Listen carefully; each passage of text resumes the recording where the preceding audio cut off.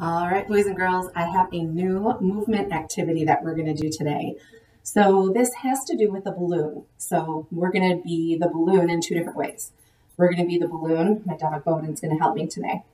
We're going to be the balloon without being blown up, so just a flat, regular little balloon.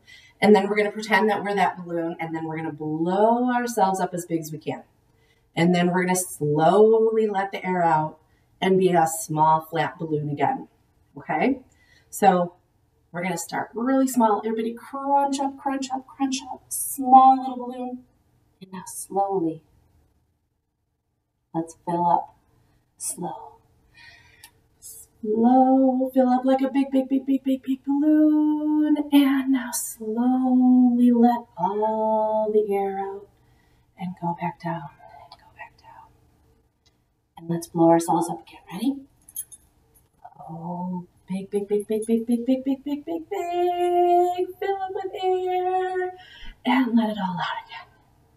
Slowly, slowly, slowly, like a flat balloon. And now we're going to blow ourselves up one more time.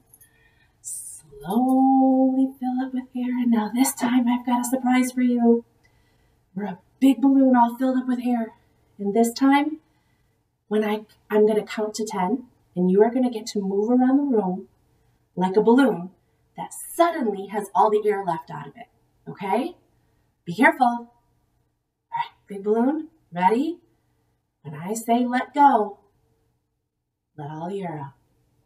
But you get 10 seconds, and at the end, you collapse because you've ran out of air. Here we go. Ready? Let go. 10, 9, 8, 7, six, five, four, three, two, one, collapse. All right, boys and girls, that was so fun.